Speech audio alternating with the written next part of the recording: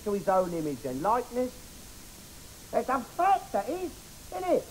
And he made every one of the same religion. Made them all Christians. See? and that's how it was for years. Everyone happy? Everyone all believing in the same thing? Until God and Lucifer, that's like, he, he was God's second in command. There he was. Get away. He was like his oppo, see? Like your Callaghan is to your Wilson, see? Until they fell out. What, Wilson and Callaghan? No! Oh, God and Lucifer, you silly pillock. and then, God, he flung Lucifer out of heaven, didn't he? He Expelled him altogether. And then Lucifer did wander the earth, trying to turn people all for God. And some of them listened. Yeah, yeah. See? And that is why he sent your Christ down here, you see, to try to reform them, to bring them back to the true path of righteousness. And then they crucified him. And that's how you get your Easter. That was a lovely incantation, Vicar. but it's not history.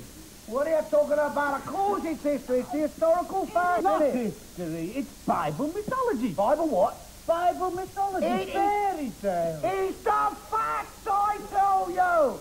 You've got your hell and you've got your heaven. And I'll tell you something else.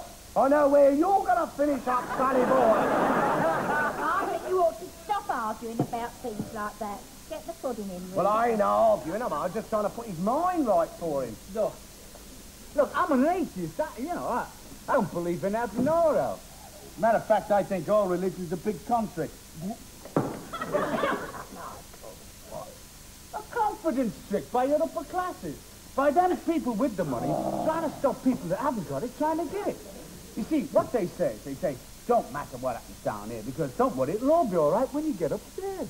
Well, that's true, isn't it? Oh, of course. What's it, of course it isn't true, because there is no heaven, love. You blasphemous swine! of course there is heaven. Well, I say there ain't. And I say there is. And I say there ain't. All right, all right then. Right. I'll bet you ten bob there's heaven. Oh, well, what sort of bet is that? I mean, how are you going to prove it? Simple. Very simple. Because when you go, Yeah. if it's there, it's there, isn't it? And if it ain't, it's not. Is it, Pillock? I hope he can hear you. That's all. I hope he's listening to you. All right, all right, all right. The bet, right? You're on. You're on, right, right, right. Only remember, when you go, mate, remember to bring that ten bob with you and poke it through the gates because they won't let you in, that's for sure. They won't let neither of you in the way you're going on. Shut up.